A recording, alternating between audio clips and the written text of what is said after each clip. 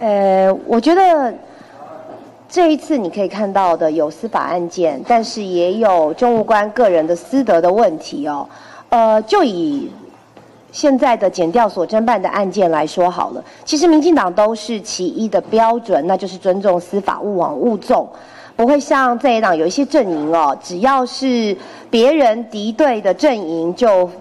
呃，高分贝，但是如果遇到自家人的时候，就说司法已死，所以司法活着还是死着，好像是变成。呃，在野党眼中到底是办的是哪一个阵营的人？但是我们都是同样的一个标准。那么至于呃，在野党在面对这样的司法案件的时候，也开始不断的放话说：“哎呀，这是民进党的内斗啦，或者说是呃，民进党内部的这个所谓派系斗争等等。”我觉得只要是这样子，都是一种把司法当成儿戏。我想没有所谓的在野党。或者是媒体所声称的，呃，赖总统的自己人，又或者是派系之间内斗的这种传闻，因为这都是把司法当儿戏。有出席中常会的来回应。昨天我刚好有出席了，赖主席昨天讲这句话的时候，他也没有指明是到底是在讲哪一件，但是很明显在讲的，当然讲的师德的部分，就是。大家就可以猜得出来了，师德的案件就是因，呃，触犯这样的一个底线，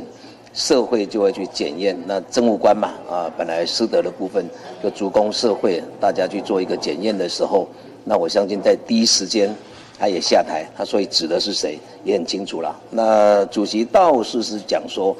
党不能去管到你的私生活，但是从党的从政同志，只要任何人。一涉及到所谓的师德的问题的话，社会就要去放大检验，所以对党它是有伤害的，请所有的啊的从政同志啊，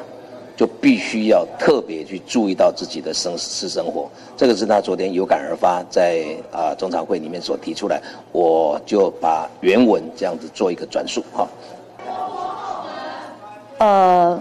我反而觉得是现在距离二零二六还有这么长的一段时间呢，这么早就大家从大选结束到现在，马上就要连接到地方选举，其实真的有点扯太远了啦。那至于说现在减掉办案，那么就尊重司法；至于说呃相关的这种都是臆测的行为，我必须再强调一次哦，就是随便的恶意的连接，或者是把这些所有的事件都。呃，放在二零二六，其实真的太早了。现在才二零二四年的